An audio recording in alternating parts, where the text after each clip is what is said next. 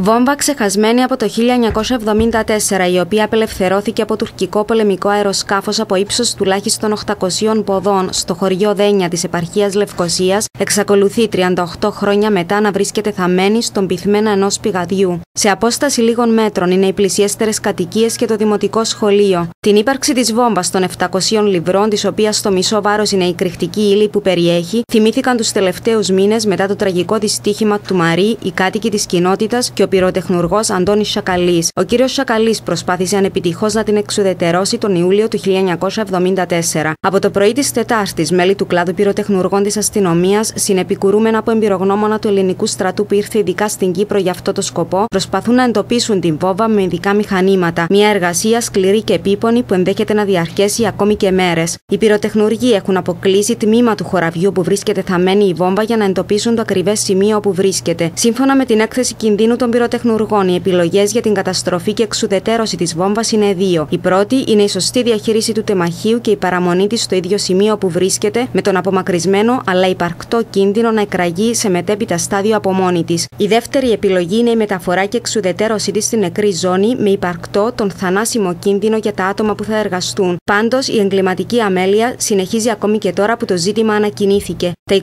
29 παιδιά του Δημοτικού συνεχίζουν να φοιτούν στο κτίριο και να παίζουν αμέριμνα στην αυλή. Άνθρωποι συνεχίζουν να κοιμούνται στα γειτονικά σπίτια και το χωράφι είναι ανοιχτό και προσβάσιμο στον καθένα. Μετά το Μαρίν, όπως όλος ο κόσμος έτσι και εμείς, ευαισθητοποιηθήκαμε πιο πολλά και νιώθουμε ότι πρέπει να καθαριστεί και το περιβάλλον και η έννοια που έχουμε ως κατοίκοι του χωρίου δίπλα από το δημοτικό, δίπλα από την εκκλησία να φύγει αυτός ο βράχνας. Η έννοια μας είναι με ασφάλεια να γίνει αυτή η εργασία να μην θνήσουμε θύματα διότι είναι κοντά στο δημοτικό, κοντά στην εκκλησία και πρέπει να, να έχει μια ασφάλεια.